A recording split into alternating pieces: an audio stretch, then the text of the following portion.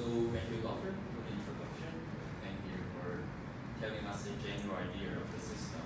So today I will go through what means for BCI, brain computer interface, and how we apply this kind of technology into different medical systems. For this instance is stroke recovery. So a small introduction on g.tec, what we're doing. Our headquarters is based in Austria and assign them different kind of tasks. So this one is in Berlin last year. The task is to capture the back of his brain, visual cortex, convert it through a software they develop, and control the data behind. So just thinking of a command, you can actually control external robotics. This one is an public event in Australia. So you see children's parents coming in just to try the BCI system. This kid is actually controlling a robotic for artistic expression, like painting. You can see BCI is not only limited by uh, the scope of medical field, you can also apply the same principle in various occasions. This map shows uh, what we generally offer. So different kind of amplifier for neural technology, so brain capturing signal, body sensors, all kinds of signal from your body. You can also combine this kind of signal with VR glasses or eye tracker. So different kind of application. One example would be in terms of psychology uh, experiment. People wear a wireless EEG cap and with an eye tracker. So he sent the subject to the supermarket and allow him to gaze at different products If he's really interested in such as so for example, I just let this patient.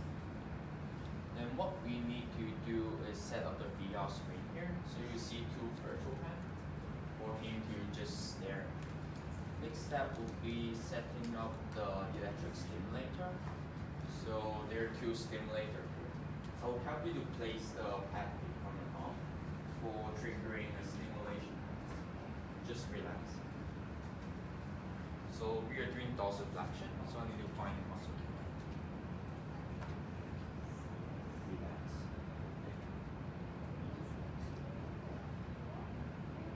Rest of the gel.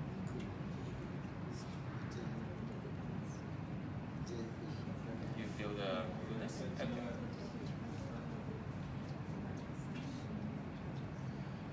So this is the reference signal for referencing all the electricity. We place it on the ear loop because we don't move the ear loop, so the signal can be stable.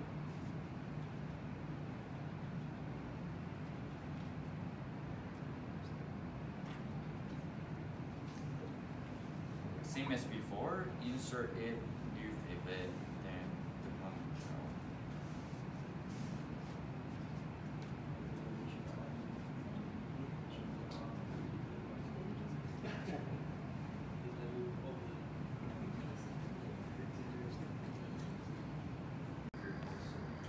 Some reason behind is the motor cortex. Overleaf is just next to the upper lip. So if you see improvement in this area, usually half the area is. And the brain is always communicating itself. That's why we do bilateral training, so healthy and hand. So we're activating both sides uh, from time to time, just for the brain to calibrate itself in context. For stroke patient, usually all the signal will be shifting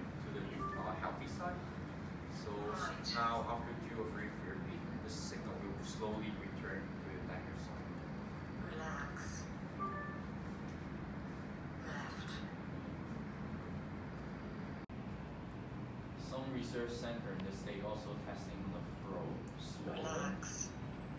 So the same principle can be applied to different muscle group. As long as you can extract the EEG signal, build a good classifier, Relax. same principle. Right.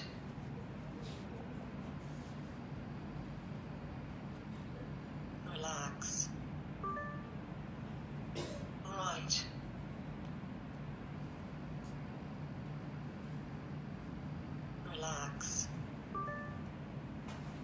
Left.